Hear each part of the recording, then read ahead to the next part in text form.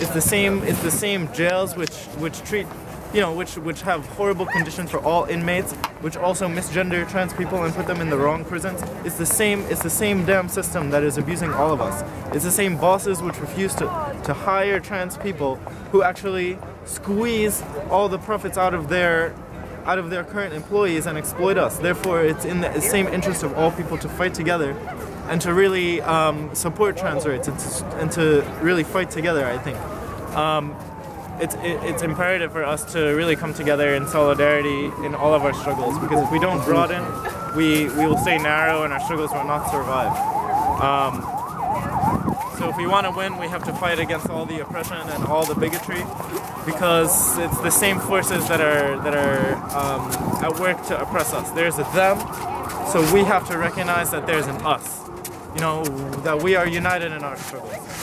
Um, and I would just also like to say that um, I saw a poster the other day, which I think is very important. Um, I think it comes from the from the Stonewall riots, but basically um, it said queer power, and um, you know, you gave us rights because we gave you riots. It's through struggle that we win. It's through struggle that we win concessions. Not just through asking for things, but for coming together and, and fighting and resisting. That's how we win concessions.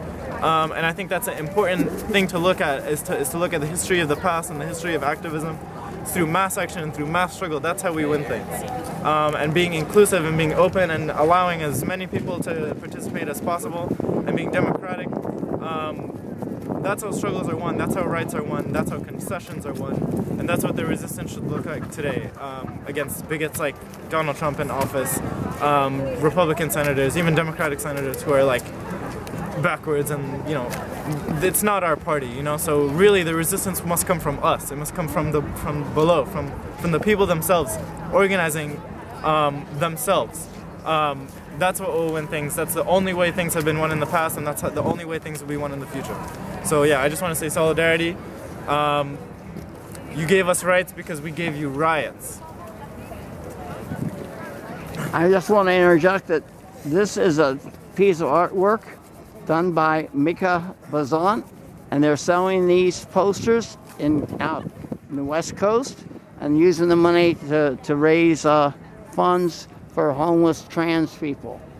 And this, as a matter of fact, we have the big version of this. I think it got behind Mayor de Blasio uh, when they had some sort of a, gay pride march. I mean, it's incredible how this has taken off, and what it says is just what you're saying.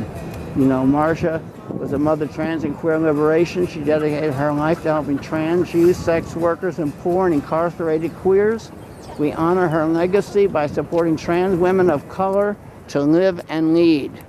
So that's part of what this was about too. I felt kind of strange because I figured, well, it's going to be mainly black trans people. So yeah, I'm really glad you were here. You you you were you were the you should, are you, they should put you talking during the event itself. Do you know how they're picking their speakers? No,